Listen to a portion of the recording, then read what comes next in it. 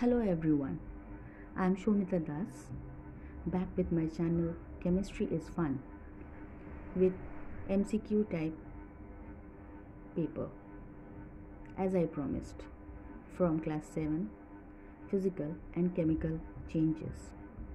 Let us see few questions. When we cut a piece of paper into two parts and then join the pieces, what is it? There are four options. My answer will be it is a physical change. When we stretch a rubber band, we observe that the color of the rubber band changes, the rubber band becomes thick, the shape of the rubber band changes, heat is produced. The correct answer is the shape of the rubber band changes.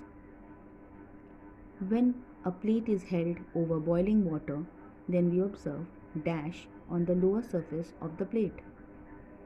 Definitely we observe water droplets.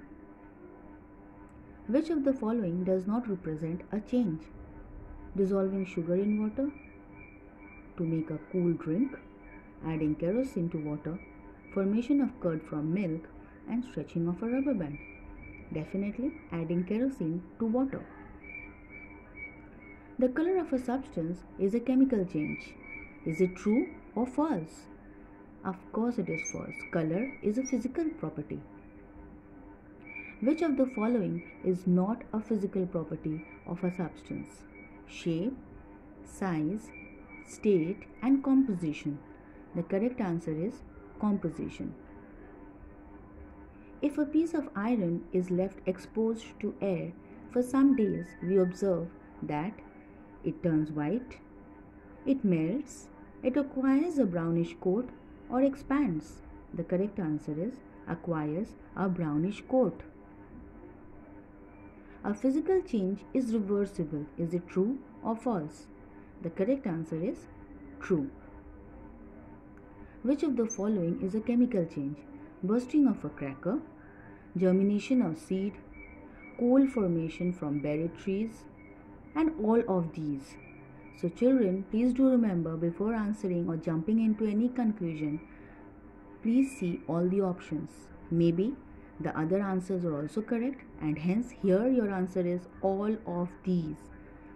Many children just see the first option, bursting of cracker, and they just click for the first one.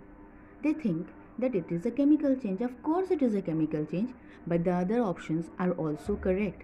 So be very careful when you are clicking for your answer. Sophia's mother made a concentrated sugar syrup by dissolving sugar in hot water. On cooling, crystals of sugar got separated.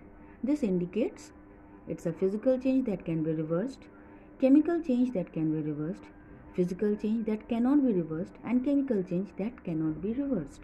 The correct answer is physical change that can be reversed. Thank you for watching. Please subscribe to my channel for more latest updated videos on the latest syllabus. Thank you.